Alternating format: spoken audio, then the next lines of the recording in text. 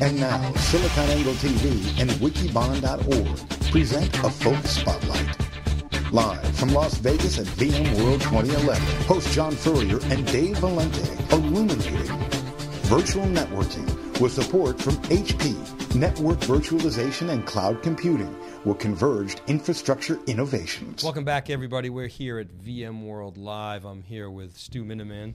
I'm Dave Vellante of Wikibon.org. Stu, welcome. Thanks, Dave. Okay, we're going to dig deep into the virtual networking spotlight. As you know, Stu, these spotlights are topical and they are designed to go deep into an area to help users better understand the key issues around particular topics coming from our community. And um, this one is uh, virtual networking. It's sponsored by HP. So let's dive right into it. Stu, we've prepared a set of slides. The first one we're going to look at is the networking megatrends. And I want to ask you, you hear a lot about the flattening of the network. What's behind that? Okay, so, so Dave, uh, basically it goes back to similar to what we had with server environments. We need to get greater utility out of our, our equipment. So on server virtualization, we saw VMware helping us gain greater utilization. And in the network, we also had great inefficiencies. A lot of that was with one gigabit environments. We had what was known as the three tier network, uh, which was going from uh, my access layer to my aggregation layer and up to the core layer. Uh, and with spanning tree protocol, we are not using a lot of our links. When we go to 10 gigabit environments, we have consolidation. So I have fewer links, and therefore I need to be able to utilize them better. And with things like uh, VMware vMotion, we actually, rather than needing to go up the tree, what's known as north-south traffic, we are actually driving more east-west traffic or server-to-server traffic, and that's why we need a flatter, uh, you know, wider network than uh, kind of the uh, what we had before. We love uh, sports analogies here in the cube. East-west, not good in football. much better in networking. Yeah, like your running back, you want to want him go going going going hitting it hard uh, and uh, use all the resources that we have. The okay, the second uh, mega trend that we're looking at, let's go left to right here, is uh, this issue of custom ASIC versus, versus merchant silicon. In the old days, everybody was highly vertically integrated, a lot of function built into the, the customized chips. What's happening now, Stu? Sure, Dave. So right, if, if you dial back just even you know five years, uh, the the major uh, switch manufacturers all made their own chips that they needed to bake in their own functionality uh, and have them own their own release cycle. What we've seen is this trend towards uh, off the shelf silicon. So that is uh, the same hardware functionality across the board, and it's through software and management that people are adding uh, their value. Now, th this isn't everyone across the board. Cisco, still, most of their ASICs are in house design, but even Cisco, uh, with an announcement earlier this year, has uh, the Nexus 3000 is for high performance, low latency environments, and that's off the shelf silicon.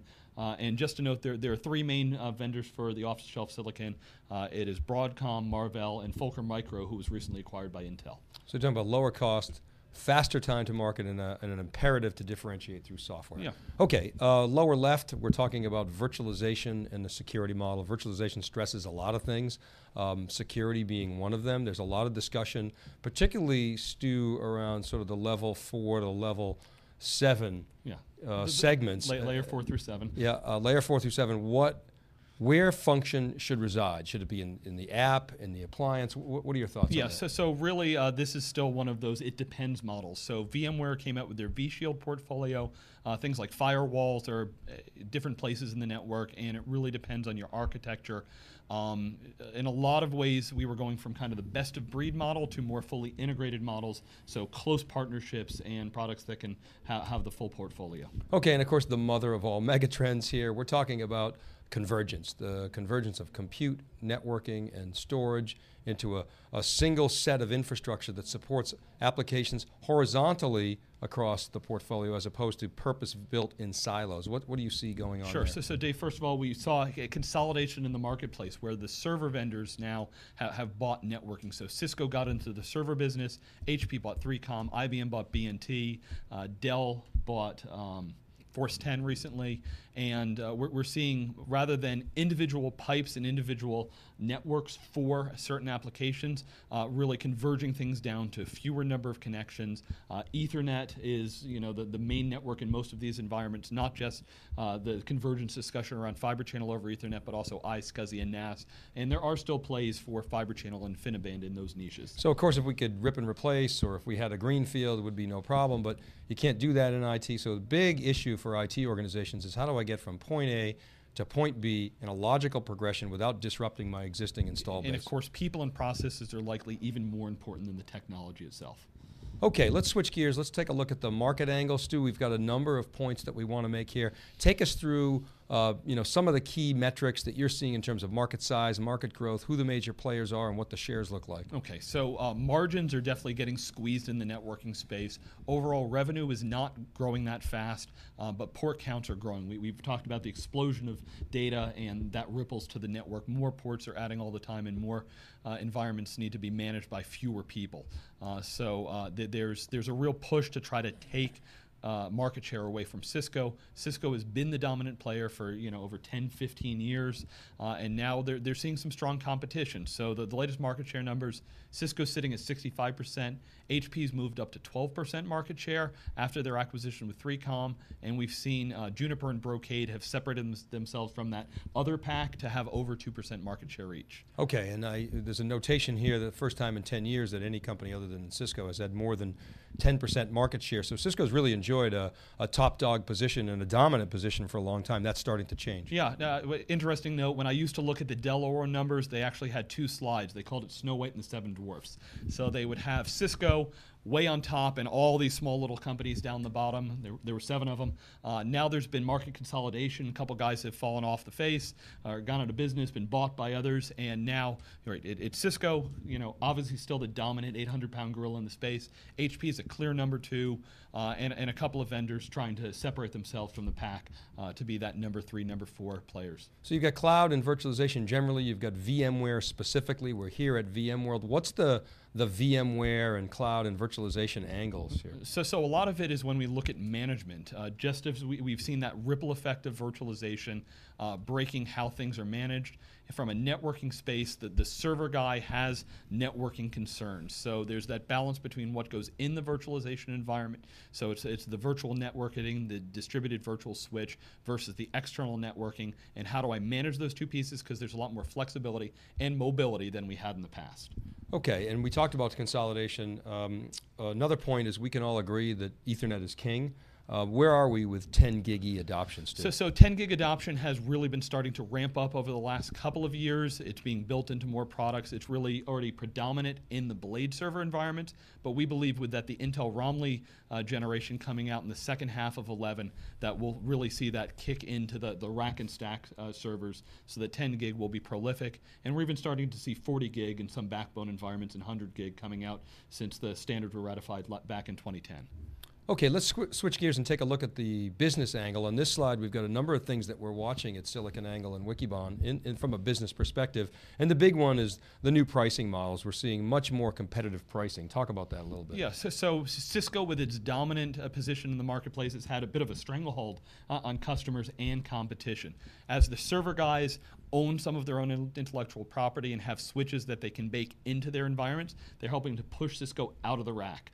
Uh, so Cisco is still in the core, uh, and, and, it's a high margin business, but they do face tough competition from new generations of architectures, uh, from, from, Juniper, from Arista, from HP uh, on the 3Com side. So, so there's challenges there, and services are a big piece of this. I've talked to some of Cisco's largest uh, customers out there, and, and, to be perfectly honest, some customers are unhappy with Cisco. Uh, they, they don't feel that they've gotten the service that they really should be expecting as, as a large customer, uh, and then maybe there's a little bit of neglect or even a little bit of arrogance on Cisco's side, and therefore competition that can come in and deliver products at you know lower price and give them the service that they expect are going to allow customers to be able to switch. Well, and you're seeing a, a, a couple of different service models emerge, where you've got certainly IBM and HP, and now Dell with the Perot acquisition as to having uh, highly vertically integrated services. You've got others um, like Cisco, like EMC, partnering up with a lot of these services companies who are competitive with IBM and HP. So there's an interesting dynamic going on there, and uh, it's definitely one that we're watching. Absolutely. Um, uh, another I- issue is that you know you've got the, the Cisco whale and you've got the big server vendors uh, that have um, made some acquisitions re- recently, and you've still got some some disruptors like Juniper that are independents, right? Um, and and so everybody wants a piece of Cisco, don't they? Yeah, if you just want to buy a 10 gigabit Ethernet switch and you're not looking for the latest, you know, scale out fabric architecture, you can find things much less expensive than what Cisco's offering. You know, easily 30, 40% less. Um, you know, most enterprise customers are really risk averse, uh, but these products all work. They've been baked out, and, are, and are, there's competition to Cisco that are gaining lots of uh, customer wins. And you've got some, uh, because of convergence, you've got some interesting competitive dynamics with uh, co- uh, companies that have, like Cisco, that haven't traditionally been in the server business, getting into the server business. HP getting much more aggressive into the networking business. Networking has been traditionally a much higher margin business than servers, which have largely been commoditized. Uh, we're seeing H- HP, you know, pick away at some of uh, of the um, the lower end markets and starting to move up to the top of the rack and into core switching. More work needs to be done there. As Yeah, you so, so, so HP, you know, ha- has long been known for having some good innovations uh, with their Flex Fabric product line. Their Blade servers really led some of that uh, new generation of wire once technology. Mm-hmm. Um, Cisco still competing hard there. Uh, not going to, you know, they're going to fight tooth and nail for that environment. But as we see with the market share standpoint, it, you know, Cisco, if they lose one or two points of uh, market share, it, it- it's not devastating to them, but that can be a doubling or tripling uh, of revenue for the networking products. So you're going to see more and more investment uh, from uh, some of the server manufacturers and some of the independents a- as they uh, smell blood. So the market overall is not growing rapidly. I mean, it's talking about single-digit growth rates, oftentimes flat. So growth is going to come through share gains and disruption. Hence, all the focus on on, on market share. Right, and, and virtualization i- is a real uh, area for, for focus, not just the VMware environments, but uh, companies are also partnering with Microsoft, partnering with Citrix, and trying to ride that wave of virtualization because that's where the growth is in the marketplace. Now, again, another point on virtualization is OEM sales of vSphere are under pressure. Um, what's going on there, and what does that mean? Yeah, so, so when you look at VMware, uh, you know, five years ago, VMware was sold mostly by the server manufacturers, and today i it's it's highly more it's much more distributed. So uh, rather than more than 50% of uh, vSphere licenses going through the OEMs, it's now under a third. I think almost down to a quarter. The last time I saw market share there, and part of that is that. Uh, there's many ways to get your hypervisor. The hypervisor, in, in many cases, is free, and there's also competition in that space. So uh, some of the server guys are going to uh, license some of the, the free or less expensive options uh, when they bundle that offering. Now, the other uh, business angle we're watching is is the imperative of adding value beyond the hypervisor. Right? If you don't own VMware, uh, then you've got to find ways to do that to add value. And now that leads us, Stu, to the to the technical angle. And in this slide, we've got a number of points that we want to make. What are the big disruptions that you see in the marketplace? Okay, so uh, th- there's a lot of kind of open source initiatives out there. So OpenStack in the cloud environment, and in the networking space, there's OpenFlow. So OpenFlow uh, at Interop uh, a couple of months ago was the buzz of the show, and what we're talking about here is how to build large, scalable environments that can be managed much simpler. So uh, the service providers definitely need this, but it's actually the enterprises where we're going to see this technology first. Uh, it is not. It, it's a software product uh, that is going to be supported by many different vendors out there. HP is participating in this, and it's one that bears watching. And how about um, optical? Is optical finally going to replace copper? Yeah, so uh, if we look at the cabling, traditionally uh, Ethernet cabling has been, if we look at one gigabit, over 99% copper. And when we went 10 gigabit, for many years, optical was the only answer. What we've got right now is 10 gigabit. Ethernet really starting to ramp up the 10G base T, so we'll start to see uh, copper seeping into it some, but optical is definitely gaining market share on, on, on copper. The price of copper keeps going up. The differenti- differentiator between copper and optical from a price standpoint is being even. And uh, the, the interesting technology that we saw come out of HP Labs is an optical backplane. So uh, very short distances on the backplane. How we attach things has always been copper, and in the future that could be replaced optical. So uh, Corning's very happy, and uh, th- th- there definitely is, uh, you know, uh, we're we're bullish on optical. Okay, um, we talked earlier. You were talking about management. Um, we've covered the stack wars at Wikibon and SiliconANGLE now for a while. What's happening in management across the various uh, heterogeneous stacks? Okay, so so specifically from the network environment, one thing that has been around for a couple of years now is uh, VMware has their embedded switching, and Cisco came out with the 1000V. And the 1000V solved what on, on paper and, and in many it was, was was a real issue, which was I have my networking in my virtual environment and my, my physical environment, and how do I manage both of those? Cisco worked with VMware and said, let's give the networking guys all the keys to the kingdom and make a 1000V looks just like a Cisco switch, and they can manage that environment.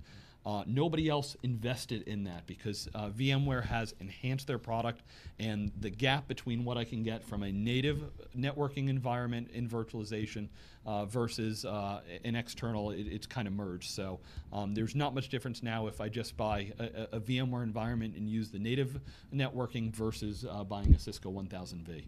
Okay, we talked about adding value beyond the hypervisor. Uh, this next point is, is an example of an embedded technology HP's Flex Fabric yep. is an example of adding value beyond the hypervisor. It has traction. You're saying, however, there really needs to be similar innovation in the top of the rack switch and, and the core switching, which is really Cisco's stronghold. Right, right. The wonderful thing about like uh, the Flex Fabric Virtual Connect is it's a wire once technology and it's really invisible to the customer. So what I mean by that is they buy a blade server, it plugs into their existing environment, and they don't worry about what's inside. So FCOE, as uh, Dave, you and I moderated a session at, mm-hmm. at SNW, and nobody is banging down the door for a new protocol. Nobody wants to change. I want it to fit into my existing environment, and let me take my time as to how I deploy that. So Flex Virtual Connect fits into that. And what we're seeing in the new generation of top of rack switches are using merchant silicon, they all have FCOE functionality. So once FCOE is built in throughout the stack, 10 gigs built in throughout the stack. And I have lots of options and flexibility as to where and when I turn on convergence technology for my environment. And, and these are high stakes too, especially at the core, because that's really where the high margin. We talked earlier about margins and servers and uh, versus networking. The real high margin is in the big core switches, isn't it? A absolutely. So th there's a big battle for what is your 10 gigabit Ethernet switch, and whoever wins that, you've got a design win that's going to last you for, at a customer site for at least five years usually. Okay, and then the last technical angle that we're looking at is, is from a VMware perspective. What do you see going on there with things like vMotion? Um, so uh, this is where the new technology that was announced at uh, VMworld VXLAN plays into it because uh, the scalability of, of layer two environments is limited, uh, but vMotion requires layer two. So how do I have that uh, you know VM anywhere, anytime flexibility? Um, it, it's, it's still a lot of ways a vision, uh, but uh, VMware and a broad consortium of uh, the networking groups have brought that to the IETF, and uh, it, it, bears watching. Okay, the last slide that we're going to show you is a, a, copy of the Gartner Magic Quadrant. Uh, it's a very interesting, for, this is for uh, enterprise networking, very interesting picture. You've got two vendors in the upper right, Cisco and HP, that's where a lot of the pricing action's going on. What do you see here? So, so, so Dave, right, if we talked earlier about market share, Cisco and HP are obviously the number one and number two players. Uh, Cisco is still uh, ha having the largest portfolio, and HP has some good product lines. As we said, HP in the rack has some great products. Uh, their core uh, environments, they still need to kind of sort out how the, the ProCurve and the 3Com fit together in that environment. Um, but from a pricing standpoint, HP definitely can execute. They've got good services, uh, but it's a strong battle there. And th there's innovators. So we look in the, the visionaries quadrant, uh, Juniper with its Q Fabric, Brocade with its VCS product line, uh, and uh, one that we're surprised that we didn't see on here is actually Arista. So uh, Arista has some good technology at low price points and good innovation, a lot of programmability built into it, which is really good for the service providers in the Web 2.0 space, uh, and kind of surprised to not see it on the Magic Quadrant when uh, some of the other guys in the lower left we don't hear about too much anymore.